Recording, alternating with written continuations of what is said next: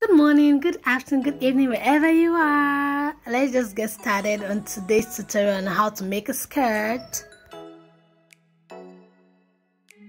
Go ahead to draw your waistline and your side line.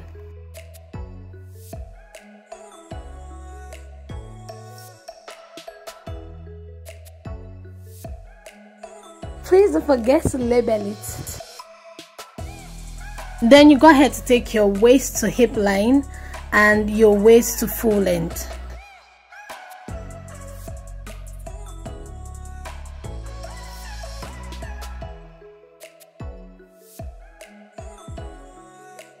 I'm so sorry guys, I lost the clip. I really messed up and I'm going to try to explain everything again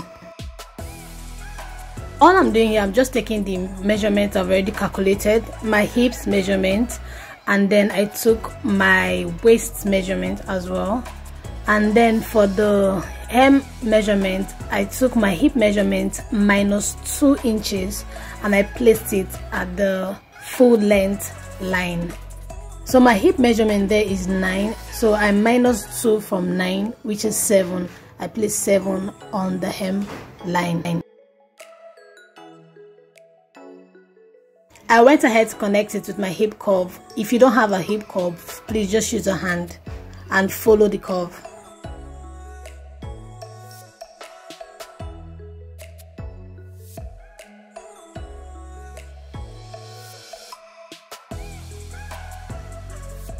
On the waistline, I went down by one inch and then I connected it to the center front line and that's all I did for the front. Now we're moving to the back. Trace out your front skirt pattern onto another pattern paper.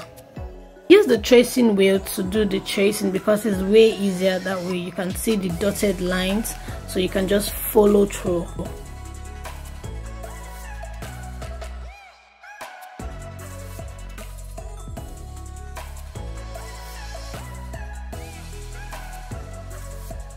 After using tracing wheel, I just traced out my dotted lines using a biro.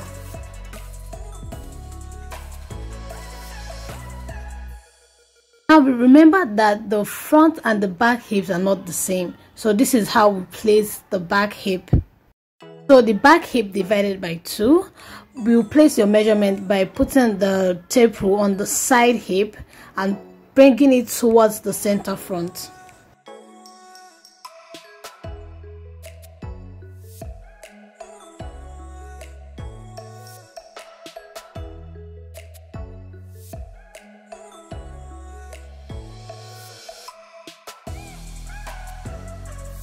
Then you go ahead to connect from the waist so the hip and to the hemline. So that's the only difference with the normal way we used to, I used to cut skirt pattern. If it's really curved from the waist downwards you have to you might have to add dots at the back. Blue mark is the extra inches you'll be adding after taking out the dots so it won't be too small amount of that you took is the amount of extra inches you'll be adding to the back. So mine isn't that curved, so I won't be using any that.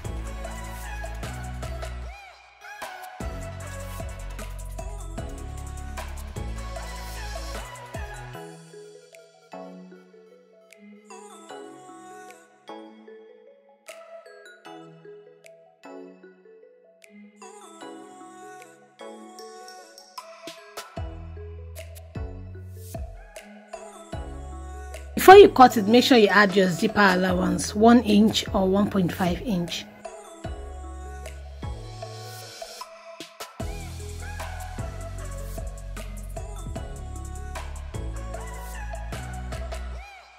That's where you'll be adding your zipper allowance.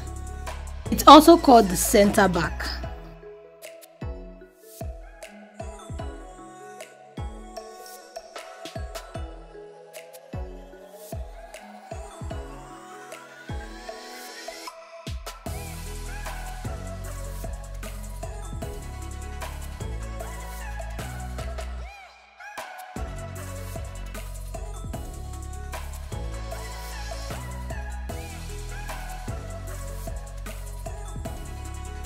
The last step we need to take is to slash and spread your hip line.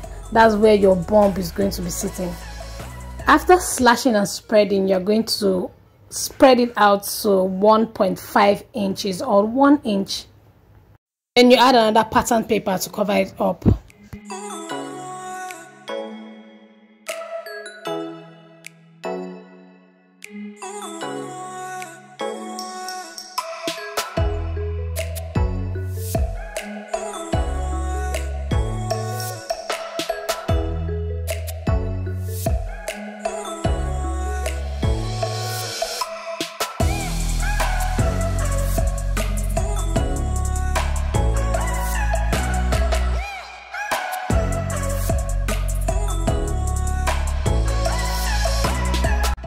after doing that your skirt pattern is ready.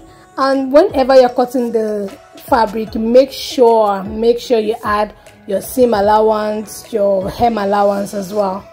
You can also just add everything before cutting the pattern. Don't forget to label the back from the front and if you're making it for a client you should also write the client's name before packing it up I'm always trying to improve my videos and give you the best content I can. Please let me know what you like about my content and I'll be sure to make more of it. Thank you so much for watching. Please like, comment, share, subscribe. And if you have any questions, don't forget to um, send it to my email or write it down in the comment section below. Thank you so much. Stay beautiful. See you next week. Bye.